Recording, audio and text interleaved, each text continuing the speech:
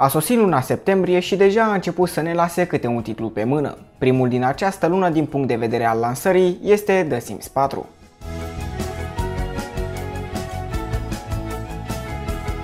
Povestea lui The Sims 4 există și nu prea. Este posibil ca cei care au mai jucat Sims în trecut să înțeleagă ceea ce vreau să subliniez. Franciza The Sims nu a avut nicio poveste propriu-zisă, de aceea devine mai interesant. În The Sims, tu îți creezi povestea de-a lungul vieții caracterelor, nepoților și așa mai departe. Este normal având în vedere că este un life simulator.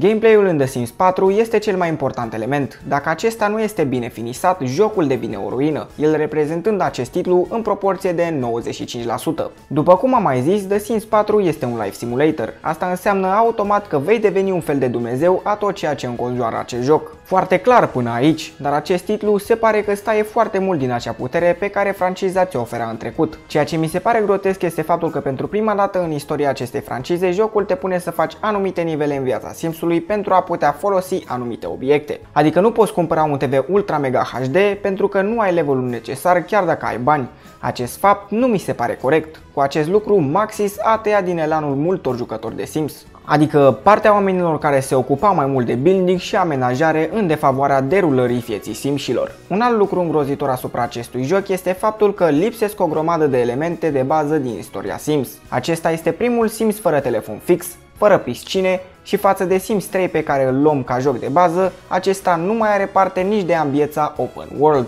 nici mașini, copiii sar peste o treaptă de vârstă și tot așa. Lista poate continua până la vreo 60 de feature absente. Poate unele dintre ele vor apărea în viitoarele expansionuri, dar asta denotă faptul că Maxis începe să dea de gustul banilor oferind un joc extrem de sărac pe partea de diversitate. Putem spune în mod cert că jocul are și lucruri îmbunătățite. Spre exemplu, Sims și sunt mult mai inteligenți acum descurcându-se mult mai bine singuri. Ba chiar ai o opțiune pentru a alege dacă să-i lași să facă activități de capul lor sau să fii mereu Dumnezeul lor. Dar cu toate că au îmbunătățit multe chichițe pe partea de gameplay, efectiv au lăsat de râpă tot ceea ce era pe lângă. Chiar dacă îți vei construi o casă și într-adevăr este mult mai interactiv și mai ușor acum, jocul anticipând anumite acțiuni, când ajungi să o echipezi, vei vedea că o să stai și 10 minute să găsești un anumit lucru pe care în jocul precedent era mult mai ușor de găsit. Sau poate ai o surpriză și nu-l găsești deloc, la fel cum am pățit eu cu telefonul fix.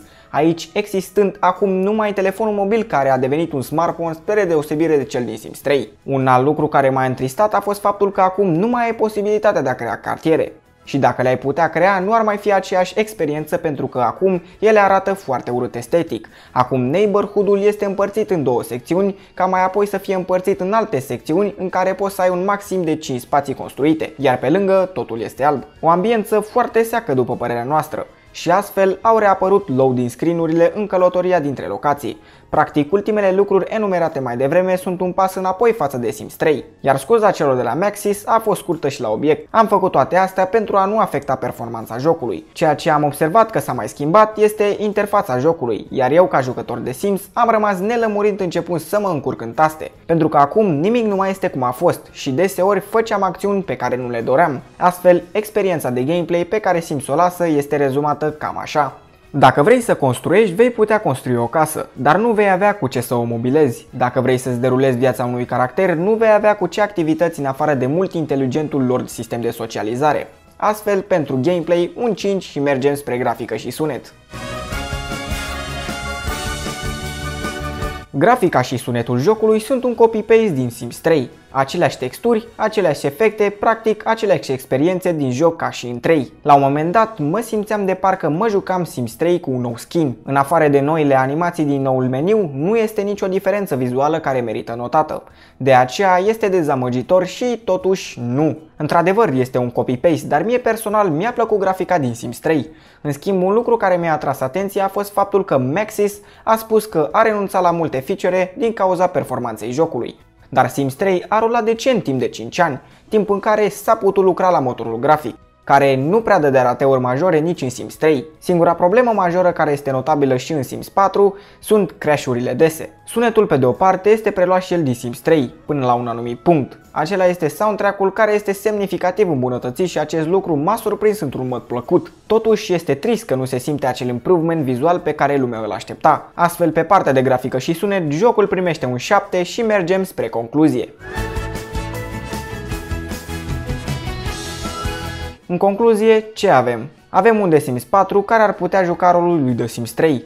Avem cel mai sărac joc din franciză și care te lasă mai sărac cu 70 de dolari, devenind și cel mai scump joc din franciză. Pentru ceea ce a adus Maxis în acest an, noi nu putem acorda mai mult. Astfel, jocul pleacă de la noi cu 6 și sperăm ca expansionurile să-și facă treaba și să introducă ceea ce are nevoie acest joc și să o facă la un preț decent. Dar după prețul afișat pe Origin, noi nu credem asta. Acum vine rândul vostru. Scrieți în secțiunea de comentarii părerile voastre cu privire la acest joc. Iar dacă sunteți gamer și nu sunteți abonați deja, nu văd de ce nu v-ați abona chiar acum.